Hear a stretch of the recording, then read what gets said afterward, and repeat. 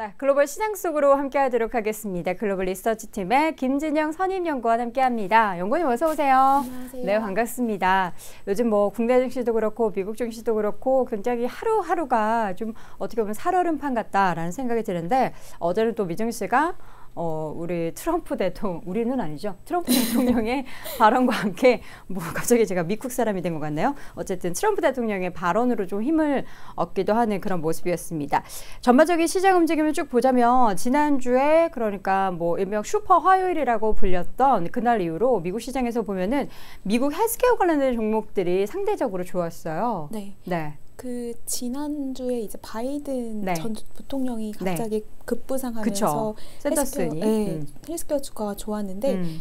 아 지금 오늘 오전에 네. 이제 한국 시간으로 결과가 오늘은 이제 미니 화요일이라고 아? 해서 슈퍼 아니고 또, 미니? 예, 예. 슈퍼 화요일에 네. 약간 작은 네, 버전 네, 네. 미니 화요일이 있었는데?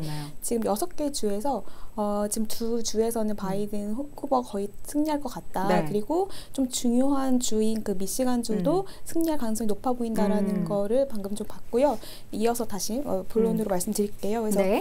어, 사실 이제 지난주였죠. 그 바이든 후보가 급부상하면서 헬스케어 주가가 좋았던 이유는 어, 지난해 이제 4월에는 사실 그 약가 인하를 강력히 주장했던 그 샌더스 후보 때문에 사실 헬스케어 주가가 어, 지난해 4월부터 조금 이렇게 많이 밀렸다가 어, 어, 작년 연말을 기점으로 해서 다시 좀 올라오는 그런 흐름인데 보고, 보이고 있습니다. 네. 그만큼 이제 헬- 헬스케어 업종은 특히 미국은 그렇게 통상 정책에 굉장히 민감한 흐름을 보여오고 있는데 현재는 이제 그 샌더스 후보 대신에 이제 음. 그 바이든 후보가 어, 경선에서 좀 승리할 것이라는 가능성이 높아지면서 어, 지금 좀 헬스케어 업종에도 관심을 물론 시장이 지금 많이 힘든 상황이지만 네. 좀 봐야 할 필요는 있다라고 생각이 되어서 오늘 좀 그 주제로 어, 말씀을 드리려고 합니다. 어, 아시겠지만 이제 그 샌더스 의원 같은 경우는 그 Medicare for All을 주장하는 음. 어, 좀 굉장히 급진적인 그런 인물이죠. 어, 그런데 이제 이렇게 그 헬스케어 정책이 좀 중요한 이유는 미국 국민들이 어, 이 정책에 대한 큰 관심을 갖고 있기 때문이고 음. 사회적 관심이 큰 만큼 이런 관련 정책들의 변화가 주가 흐름에도 굉장히 직접적인 영향을 미칩니다. 음. 아시겠지만 미국은 이제 의료 지출이 OECD 국가 중에서 가장 높은 편입니다. 어, 1인당 의료비 지출 증가율도 꾸준하게 늘어나고 있고 이는 이제 국가가 사실 의료보험을 어, 책임지는 어떤 싱글 페이어 구조를 지닌 우리나라랑 달리 미국은 이제 사보험이 거의 전체 의료보험 시장의 70%를 차지하고 있고 또 multi-payer라는 시스템을 기본 구조로 갖고 있기 때문에 어떤 다양한 이해관계, 이해관계가 얽혀 있습니다. 때문에 이제 해당 정권의 헬스케어 정책이 이제 관련 업종과 주가에도 크게 영향을 미치기 때문에 이 네. 부분을 오늘 한번 짚어보겠습니다. 알겠습니다. 바이든 후보가 슈퍼화요일에서 크게 승리를 했습니다. 사실 샌더슨 후보 쪽에 만약에 기울어진다면 헬스케어 쪽에 있어서의 주춤거림은 어쩔 수밖에 없는 그런 상황이 될 텐데요. 왜냐하면 샌더스는 계속해서 전체적으로 의료보험을 확대하려는 그런 전략을 펼치고 있으니까요. 바이든의 정책이 헬스케어 업종에 긍정적이다라고 분석을 하고 있는데 샌더슨의 입장을 조금 더 자세히 보자면 어떻길래 이렇게 좀 헬스케어 업종이 좀 약간 두려움에 떨고 있는 거죠? 그러니까 기본적으로 샌더스가 주장하는 정책은 음. 네. 방금 말씀드린 것처럼 Medicare for All이라고 해서 네. 이제 말 그대로 풀이하면은 모두를 위한 헬스케어 정책이라는 것으로 이제 이해를 하시면 될 것 같습니다. 그러니까 이제 지금 현재 미국의 공공보험 같은 경우는 지금 저나 뭐 앵커님처럼 음. 이렇게 직장에서 일하는 어 뭐 지금 일할 수 있는 연령대의 사람들은 거의 그 공공보험의 혜택을 못 받는다라고 음. 보시면 되, 되고요. 어, 공공보험의 혜택을 받으려면 이제 65세 이상의 노인이거나 아. 장애인 혹은 이제 저소득층이어야지만 그런 혜택을 누릴 수가 있는데 네. 이제 그 샌더스 의원이 주장하는 것은 음. 어, 이런 어, Medicare for All 같은 경우는 나이나 어떤 소득 그리고 연령과 상관없이 음. 모두에게 이런 어, 공공 의료보험 혜택을 누리게 하자라는 음. 거기 때문에 그렇게 되면 이제 기존에 70%를 차지하고 있던 그 사보험 시장이 굉장히 어려워질 수 있는 그쵸. 거고 또 여기에 연계된 어떤 의료 보험 업체나 PBM 그리고 대형 제약사 뭐 리베이트를 주는 그런 어, 약사 어, 제약, 제약사들이 좀 타격을 받는 음. 상황이기 때문에 어, 헬스케어 주가도 이제 부정적인 상황입니다. 여기서 네. 뭐 의료보험이나 대형 제약사들은 이제 익숙한 용어지만 좀 낯선 용어가 이제 PBM이라는 것이 있어요. 네. 근데 요 PBM이라는 개념이 낯서실 수가 있어서 잠깐만 짚어드리면 네. 이제 우리나라에는 없고 음. 미국에만 있는 특징이기 때문인데 음. 그 파머시 베네핏 매니저의 약자로 이제 음. 보험사와의 계약을 통해서 음. 이제 가입자들의 약제비 관리나 서비스 등을 제공하는 어떤 단체 사람 이렇게 뜻하고 중간에 껴 있는 거군요. 네 중간에 껴 있어서 사실은 이제 대형 제약사들이 이 PBM에게 어떤 로비를 하거나 아. 네. 중간에 이 PBM이 관리를 하기 때문에 음. 그 민간보험 가입자와 그 어, 어떤 주치의 음. 그리고 보험사 그 사이에서 어떤 조율을 하는 어떤 음. 어, 관리를 하는 역할이기 때문에 네. PBM이 좀 잘 보여야 하는 어떤 이런 입장도 있고 사실 그쵸. 되게 구조가 얽혀 있습니다. 음. 사실 그래서 어 사실 오바마 케어 정 오바마 케어가 있었던 오바마 시절에서는 어떤 PBM 업체들이나 보험사들이 좀 음. 주가가 좋았던 그런 음. 것들이 있기 때문에 바이든 같은 경우는 이 오바마 케어의 약간 개선한 버전을 좀 주장하고 있고 네. 사실 트럼프 같은 경우는 좀 아예 좀 다른 트럼프 케어를 주장하고 있지만 음. 샌더스 같은 경우는 굉장히 이제 어, 나라에서 이 모든 걸 다 해결하자 그러면 사실은 국가의 어떤 재정 부담이 높아질 수밖에 없기도 하고요. 음. 그래서 여러 가지로 어, 좀 이 헬스케어 업종에는 어, 부정적인 그런 음. 사, 사안이다. 라고 좀 보시면 될 것 같습니다. 네. 그렇다면 이제 한국 경선의 일정이나 그 결과에 따라서도 관련된 섹터에 있어서의 움직임이 다르게 나타날 거고 사실 미국 같은 경우에도 그렇고 미국의 이 경선 관련해서도 그렇고 우리나라뿐만 아니라 전 세계적으로 좀 영향을 많이 받기 때문에 관련한 일정을 좀 체크를 해봐야 될 것 같아요. 지금 어떻게 진행이 될 예정입니까?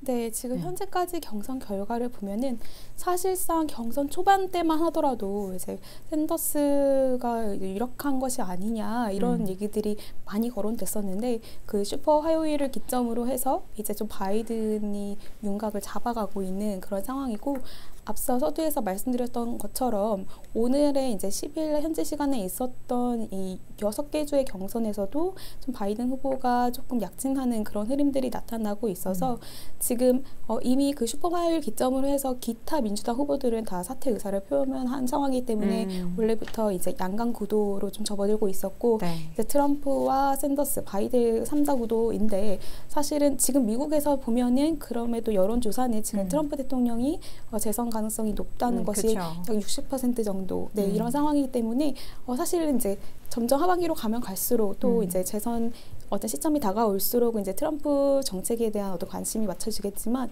지금 아직 경선 진행 과정 중이기 때문에 그렇죠. 이런 바이든 후보의 어떤 공약 같은 것도 다시 한번 이제 시- 시장에서 다뤄질 여지가 있고요. 음. 또 이제 어, 오늘 그 미시간주 같은 경우 지금 발표가 확정됐는지는 모르겠습니다만 네. 이제 이 미시간주 같은 경우는 중요한 게 11월 그 대선에서의 어떤 대표 경합주의 하나거든요. 그래서 여기에서 이제 125명의 대의원 선거인단 결정이 달려있기 때문에 음. 어, 좀 주목해 될 필요가 있고 지금 이제 민주당의 최종 후보 경선의 최종 후보로 결정되기 위해서는 전체 대의원 수 중에 과반인 1,991명을 확보해야 되는 상황인데 음. 현재까지 이제 요거 슈퍼 화요일 결과인데 현재까지 바이든은 566명, 샌더스가 501명을 확보한 상황입니다. 네. 지금 이게 제가 지금 보고 있는 뉴스가 맞는지 모르겠는데 어, 개표가 진행 중인 가운데 AP통신이나 CNN 등에서 출구조사와 개표 진행 상황 등을 통해서 자체 분석을 한 결과 아직 확정은 아니군요. 바이든 전 부통령이 미시간 또 미시시피 미주리에서 미자 돌림에서 네. 좀 잘하네요. 예, 승리를 했다고 선언을 했다. 뭐 이런 내용들이 전해지고 있습니다. 지금 보면 아직까지 이제 완전하게 개표가 진행이 된 거는 아니기 때문에 어쨌든 출구조사 관련해서 요 체크를 해본 부분 확인이 됐습니다. 관련해서 헬스케어 관련된 ETF를 좀 봐야 될것 같아요. 어떤 것들이 있을까요? 네, 사실 이제 헬스케어 업종은 음. 앞에서 자- 약간 제가 전문 용어 저도 이제 익숙치가 않은데 S&P. 네, 아, 그렇습니다. PBM. 네, PBM이라던가 다양한 또 보험 제도 그리고 음. 사보험도 70%가 사보험이기 때문에 사보험 안에도 여러 가지 형태가 있고 네. 사실 이걸 이해하는 것도 쉽지 않고요. 또 각각의 어떤 바이오 파- 빅파마나 어떤 음. 바이오텍이 갖고 있는 기술들 그리고 이것들이 정말 파이프라인이 임상이 어떻게 될지 음. 또 그리고 3상까지 가더라도 사실 이게 정말 성공할지 시판될지 이런 것까지는 모두가 이해하는 것이 참 어려운 기술이기 때문에 사실은 어, 바이오 어, 섹터에 어떤 접근을 할 때는 좀 ETF로 활용하는 것이 방법이 될 수 있다라고 좀 생각을 하고 있고요. 네. 미국 시장에는 이제 빅파바나 제네릭 등의 바이오 업체 그리고 의료 장비나 의료 보험이나 서비스 등의 어, 헬스케어 안에서도 세부 섹터별로 또 음. 업종 전체에 투자할 수 있는 그런 ETF가 좀 다양하게 상장되어 있는 편입니다. 음. 그 중에서 이제 한 가지 ETF를 대표적으로 좀 소개해드리면요. 네. 여기 지금 표에 정리해드린 것 같이 XLV 어, 이런 XLV. 네, 요 티커를 가진 이제 ETF라고 할 수가 있는데요. 이거 같은 경우는 이제 섹터 안에 어, 어떤 세부 분류에 집중 투자하는 것이 아니라 미국 헬스케어 업종 전반에 고루 투자한다라고 보시면 될 것 같습니다. 네. 이제 제약 비중이 42% 정도, 그리고 바이오텍이 6%, 의료 서비스 업체가 한 17%, 그리고 의료기기 업체가 약 30%쯤 의 비중을 차지하고 있어서 업종 전반에 분산 투자한다라고 보시면 되고요. 음. 1998년도에 출시되어서 굉장히 오래되었고 또 운영 규모라던가 보수, 거래량 측면에서 음. 좀 접근성이 가장 좋은 ETF 중에 하나라고 할 수가 있습니다. 네. 어, 또한 가지 특징은 이제 포트폴리오 구성이 굉장히 안정적이다는 것. 네. 어, 특별히 이제 60여 개의 포트폴리오 종목 가운데서 이제 존슨앤존슨이나 화이자 그리고 유나이티드 헬스케어 같은 대형주 미상이 어, 대형주의 비중이 좀 압도적이고요. 음. 구체적으로 보시면 이제 대형 제약사 중에서는 방금 말씀드린 것처럼 존슨앤존스, 화이자, 일라이 릴리가 있고 음. 의료보험사 유나이티드 헬스 그리고 biotech으로 암젠이나 애비, 애브비 그리고 머크 그 의료 장비에는 메드트로닉이나 써모피셔 등의 다양한 어, 업체 선도 기업들이 좀 다 포진되어 있습니다. 음. 때문에 이제 일부 사업 부문에 집중돼 어, 치중되어 있지 않기 때문에 좀 변동성 측면에서도 좀 어, 괜찮다라고 생각이 들고요. 어, 또 마지막 특징은 이제 Big Pharma와 biotech 간의 M&A가 미국에서 굉장히 활발하게 일어나고 있고 향후에도 이런 흐름이 지속된다고 볼때 어, 어떤 피인수되는 기업들이 사실은 주가가 많이 튀 그런 news flow들이 나타날 때마다 많이 튀는데 이런 XLV 같은 경우는 Big Pharma와 또 biotech에 모두 이제 다 투자하는 것이기 때문에 어, 수혜를 좀 볼 수 있겠다라고 좀 생각을 하고 있고요. 또 특별히 이제 빅파마 같은 경우들의 어떤 현금 흐름 추이를 좀 보시면 계속 해서 대표적으로 뭐 파이자나 머크, 뭐 BMS, 존슨앤존스, 일라이릴리, FB가 이제 올해로 약간 현금 흐름이 많이 떨어질 것 전망되는 것을 제외하고는 계속해서 상승 흐름을 좀 보여주고 있고요. 이게 중요한 거는 어, 이런 안정적인 현금으로 바탕으로 좀 배당까지 꾸준히 늘려주는 어, 그런 모습들을 보이고 있어서 어, 이런 부분들이 좀 XLV ETF의 어떤 투자 포인트라고 할 수 있겠습니다. 네. XLV 헬스케어 관련된 ETF 가운데 하나 확인해 봤습니다. 그러니까 지금 헬스케어 관련해서는 경선에 굉장히 많이 영향을 받는 거고요. 바이든 후보 쪽이 조금 더 힘이 실어지면 관련된 그러니까 상대적인 거죠. 샌더스 후보가 워낙에 Medicare for All을 지금 네. 선택을 하고 있기 때문에 어쨌든 뭐 트럼프가 돼도 헬스케어는 그러면 큰 문제가 없는 거죠. 사실 트럼프가 처음에 했을 때 사실 음. 오바마 케어 오바마 정부 때 네. 가장 헬스케어가 좋았기 때문에 음, 음. 트럼프가 이제 오바마 케어를 폐지하고 트럼프 음. 케어로 돌아서면서 네. 좀 대형 제약사들의 어떤 약가 인하 압박을 좀 줬던 사실이 있고 음. 그래서 그런 부분들이 사실 처음에는 부담이 됐었는데 네. 다시 보면은 사실은 트럼프 같은 경우는 샌더스에 비해서는 굉장히 더 우호적인 음. 그런 정책들을 그래도 하고 있다라고 생각이 들고 네. 또 샌더, 어, 트럼프가 된다고 하더라도 약가이나 같은 것도 사실은 처음에는 좀 음. 그걸 타격을 받다가 음. 나중에는 이제 또 상쇄되는 많이. 상쇄되는 그런 음. 모습들로 좀 계속 지연돼 네. 어, 지속돼 왔었거든요. 그래서 네네. 그러한 부분들은 점점 음. 이제 뒤로 갈 대선에 가까울수록 더 음. 이슈가 될 것 같습니다. 네.